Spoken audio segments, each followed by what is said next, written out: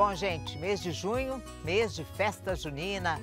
Quentão, pipoca, pinhão, né, Sérgio? Pois é, mesmo frio é um mês alegre, né? Alegre no sítio, então, gente? Pois é. Muita E a- fogueira. E alegre está o Rick Rural de domingo também, com essas notícias, essas informações e reportagens. Vejam só. Plantação de lavanda em Araucária virou ponto turístico na região. Flores comestíveis, o mercado promissor em muitas cidades do Paraná. O Paraná superou 2 milhões de toneladas de carnes exportadas em um único ano. Já a carne suína teve aumento recorde de consumo em 2022, chegando a quase 19 quilos por pessoa. No Dicas Práticas na Agricultura, por que a pesquisa recomenda o uso do calcário no solo? E a receita do sabor da terra é da canjiquinha mineira. Bom, gente, domingo, né? Sempre às 9 da manhã, nós esperamos vocês. Até lá então, não perde o programa não, tá?